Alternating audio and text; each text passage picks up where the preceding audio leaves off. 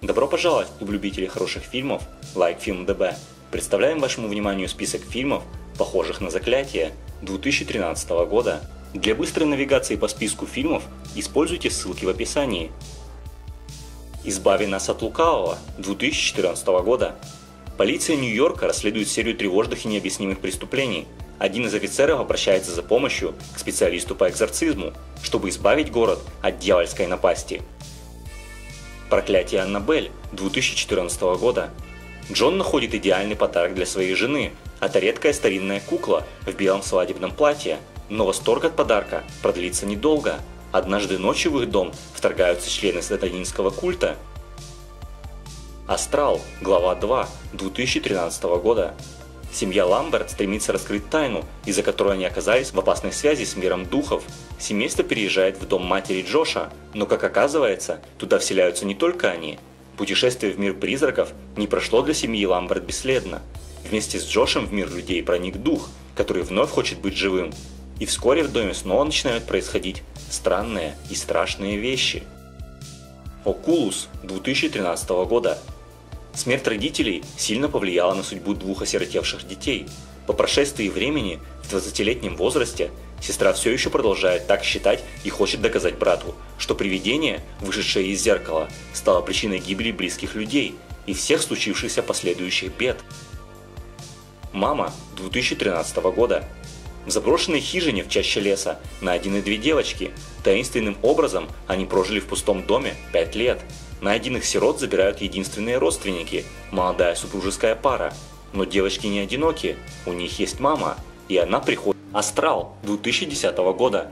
Джош и Рене переезжают со своими детьми в новый дом, но не успевают толком распаковать вещи, как начинаются странные события. Необъяснимо перемещаются предметы, в детской звучат странные звуки. Но в настоящий ужас приходят родители, когда их десятилетний сын Далтон впадает в кому – все усилия врачей в больнице помочь мальчику безуспешны. Несколько месяцев спустя его возвращают домой, где за несчастным ребенком ухаживает мать и сиделка. Но загадочные явления в доме продолжаются.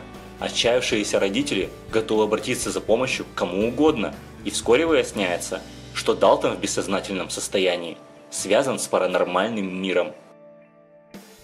Последнее изгнание дьявола 2010 года Преподобный Маркус Коттон много лет занимался изгнанием дьявола из бесноватых. Секрет его успеха не столько в проникновенной молитве, сколько в многочисленных трюках и спецэффектах, которые оказывают чудесный психологический эффект на впечатлительную паству. Собираясь на очередной экзорцизм, он приглашает с собой съемочную группу, которая снимает о нем документальный фильм. Его вере придется пройти суровое испытание, когда он столкнется лицом к лицу с самим дьяволом. Паранормальное явление 2007 года Молодая пара проживает в доме, который, как они подозревают, посещается некой злой силой. Чтобы зафиксировать паранормальную активность, они настраивают видеокамеру, чтобы записать свидетельство существования этой силы, появляющейся исключительно ночью, когда они спят. Тут-то и начинается самое интересное и страшное. Ужас Амитвилля 2005 года.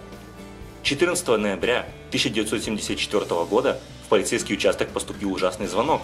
В резиденции семьи Дефо шесть человек застреляны в своих постелях. Рональд Дефо признался в убийстве своих родителей и братьев, объяснив, что некие голоса велели ему совершить убийство. Год спустя Джордж и Кейтли Латс с тремя детьми переезжают в этот дом, полагая, что сбылась их заветная мечта. Они еще не знают, что их счастье под угрозой страшной демонической силы, способной его разрушить. Ужас вновь охватывает Амитвиль. Пишите в комментариях, какие фильмы по вашему мнению стоит добавить и другие замечания и предложения. Спасибо за внимание. До скорых встреч!